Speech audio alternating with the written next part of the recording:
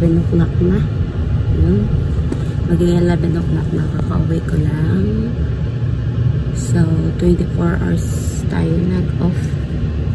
Dapat kung may mga damit ako baon or may extra akong damit na dala, hindi pa ako pinapauwi ng mga kaibigan ko. Kasi may puntahan daw para bukas. Kaso, kailangan ko umuwi kasi may ano may isdang alaga. O, diba? At saka, alam naman ni Amon na kung saan ako napunta. Basta as long na wala tayong ginawang kalukuhan, masama, eh, pwede lang tayong gumura ng gumura. Tatapusin mo yung trabaho. Pakipag, ano lang, makipag ayos lang sa trabaho. Wala namang problema yun, di ba? Ayan, so, pauwi na tayo. Uwi dito, dito. Iba naman yung way namin.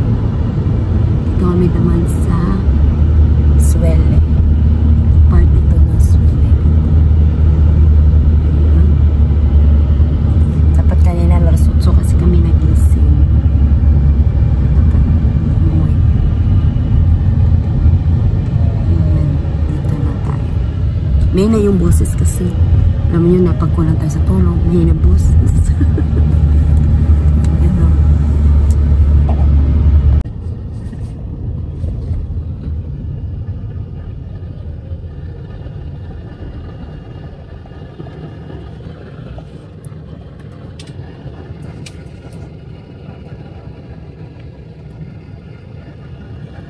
Wow, ang ganda naman ng view. oh. Hikayat na.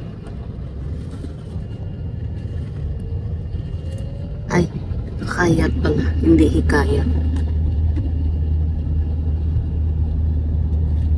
After 24 hours na day off, pauwi pa lang ako mga guys. Yan o.